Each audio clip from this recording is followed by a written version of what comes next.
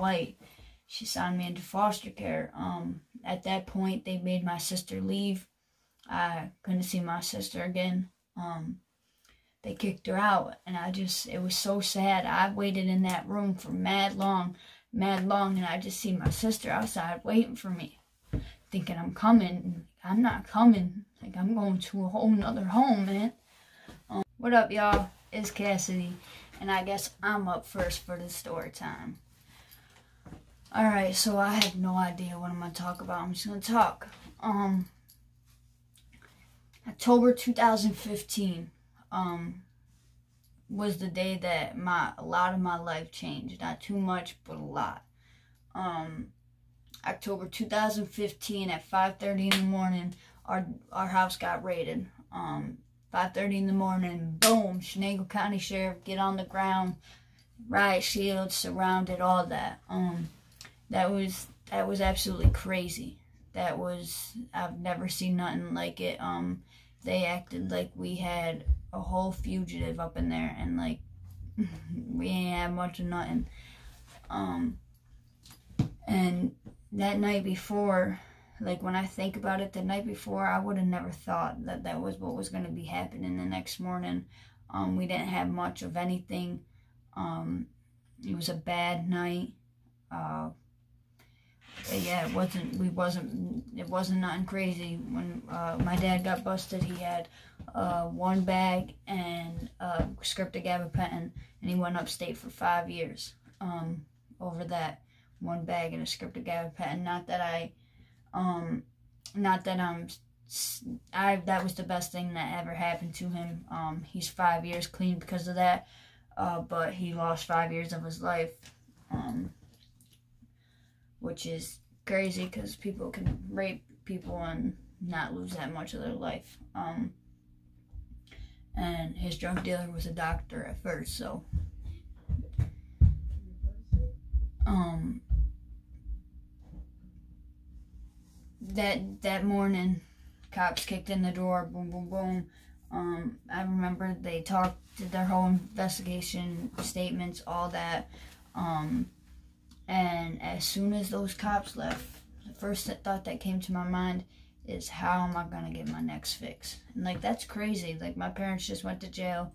Um, my dad's about to go upstate. Like, and I'm thinking about my next fix.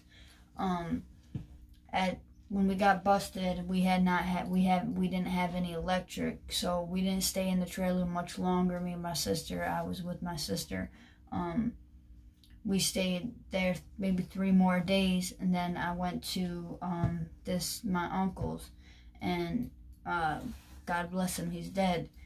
Um, I have a lot of resentment over that um, I completely turned his house to a trap house. Um, it was an elderly home. Uh, I had people in and out selling drugs um, I had my dog in there, my big old pit bull, and like you ain't allowed to have dogs. They play cards out in the lobby, like it's an elderly home, a straight elderly home. Um, they had cameras. I would cover the cameras with tape, my hat, whatever. Uh, I'd have people come through the windows, and because of me, he got kicked out of that place. He did end up getting another place, but I hold a lot of regret over that. Um, I wish I could I mean, today I'm showing him that I'm a better person, but I wish he was here to see it. Um, I wish he was here to meet my kids and all that and see that, like, it wasn't all for nothing. Um, so that morning of the drug bust, the cops had said, um, don't drive that car, it's marked. When someone, a cop, a detective tells you don't drive a car, it's marked, nine times out of ten, you're not going to drive that car. Not me, not my sister. About five hours later, we hopped in the car and went to the city and copped drugs. Um, that night was just sad. Um, it hit me at nighttime. It hit me that my parents weren't there. I was by myself um, with my sister. Like it was crazy. It was crazy to me. Something I never thought would happen actually happened, and something that people been telling us was gonna happen happened. Um, after that, that was I, my shit got rough. Um, I was very ruthless. Um, I didn't care. I didn't have a care in the world. I had so much hurt in my heart. Um, and that was actually um, the time when me, uh, me and my sister, we were going to our friend's house and um, we were getting drugs. And when we got there, I had robbed the guy for the drugs, and uh, he pulled out his gun, and uh, his buddy pulled out tape, and they was gonna try to tape me up. They thought I had had took the drugs. Um, granted, I did take the drugs, and you think like at that moment when like he just pulls out a gun and they have tape, like I would be like, here, like take the drugs. Nah, I didn't. I kept the drugs. Um, me and my sister did our thing. We stayed there that whole night. Um, they took our cell phone from me, from us, so we couldn't get a hold of nobody. That next morning, uh, my sister had found the cell phone and got a hold of someone and got us a ride out of there. But like, um, that was a situation that could have turned into something a lot bigger, a lot bigger. Um, after that, uh, I just was on a run. Um, I was determined that I was going to bail my father out, um, which wasn't happening. It was twenty thousand dollars, wasn't happening. Um, I just I didn't know what to do. Um, I, I didn't know what to do at all. I was lost. I couldn't see my parents because I was under the age. They're my legal guardian. I should be in foster care, but foster care done they done left me. They shouldn't have left me left me with my sister. She like nah, they just left me. Um, so I couldn't see my parents at all. I didn't see my parents for a good six months, seven months. Um, so anyways i was on like i said i, I turned that elderly home into a trap house. Um, finally i had decided like i need help. I can't do this no more. And i had went to connecticut. Um, i went to connecticut. I was in connecticut for about two weeks. My cousin was to get custody of me all that. And um, i couldn't do it. I came back home um, on the way home, my cousin chased me down. It was crazy. He didn't want me to leave. He was just trying to save my life, honestly. So I had my my friend pick me up, and um, I, we're driving down the highway, and all of a sudden we just boom smack right into us. This big ass truck smacked right into us. I said, "Shit, it's my cousin. Like it's my cousin. He's coming." So we're I'm we're in a little Cadillac, boys in a fucking big ass Chevy. So we're at this point, we're in the ditch, yo. My my guy Tom, he just boom, fucking, he drove that shit right out. We're getting it. We're doing like one 110 like we're getting it. And he's trying to hit us. He's on her ass. Tom's breaking fucking going breaking. Like i this shit was crazy yo. And we're on the, the freeway. We're getting it. Um they're chasing us throwing shit out, out the window. Pull over pull over. Because they want me. I'm in the car. They want me out. They have custody of me um, but it had not went through the system that they got custody of me. But they did have custody of me. But I wasn't trying to stay. I was trying to get back home because I was a drug addict. Um, so they're chasing us, chasing us. We're going probably maybe a buck, a buck 15 now. We pass state trooper. Boom, pass him. I'm getting it. times. they getting it. times getting it. Um, so I said, shit, we just passed the cop. So we duck off into the fucking thing, and then we pull into the gas station. Cops right behind us. My cousin's right behind us. So I'm in the car. I'm talking my shit to my cousin, like, get the fuck out of here. I ain't going with you, blah, blah, blah, da, da, da. Um, and unfortunately, there was nothing my cousin could do to keep me there. He did have custody of me, but the papers had not went through yet, so it wasn't in the system that he had custody of me, so there wasn't much he could do. Um, but at that point, he was just trying to save my life. He, I was going back home to um, and someone. I just it wasn't good. I wasn't going home to nothing good.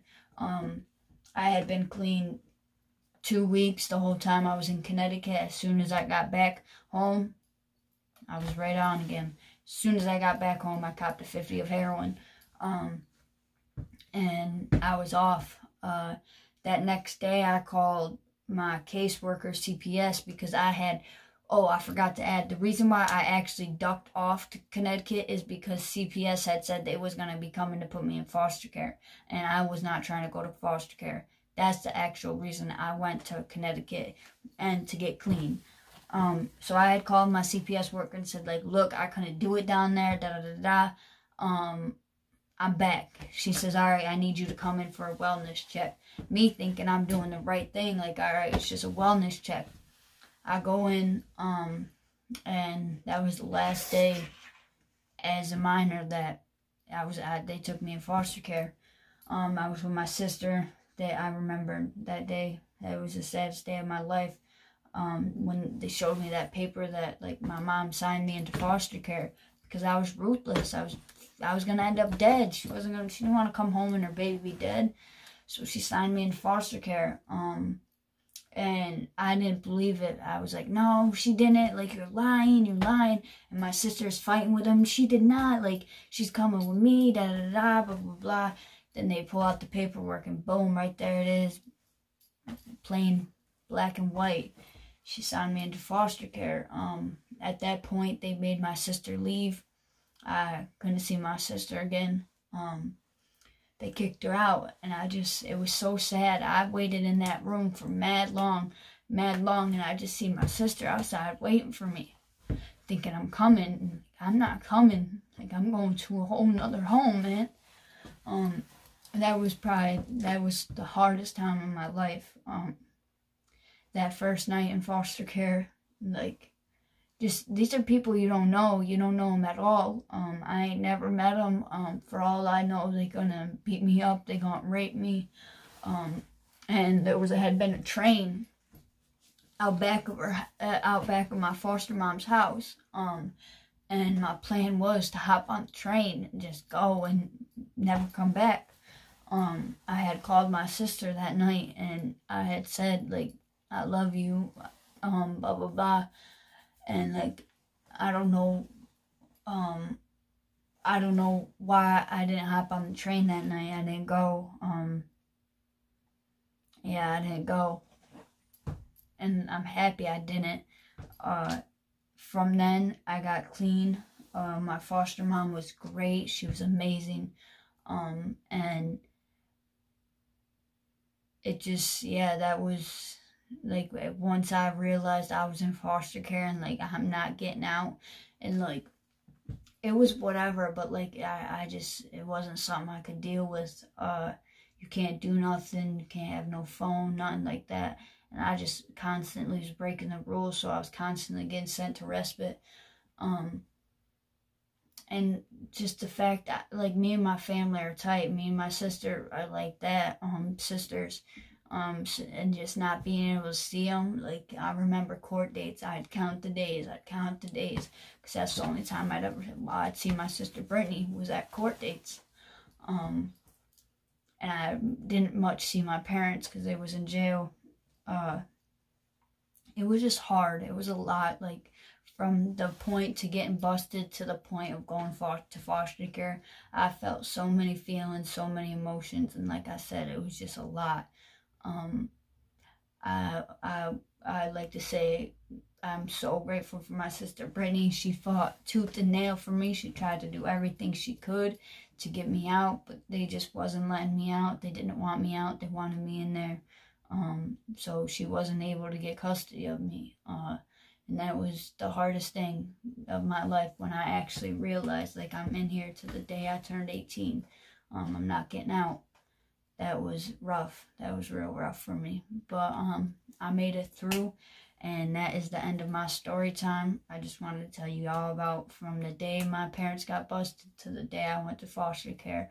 Um, if you'd like more of these, we'll keep coming at you with them. It's all love, and I'm out. Who's up next?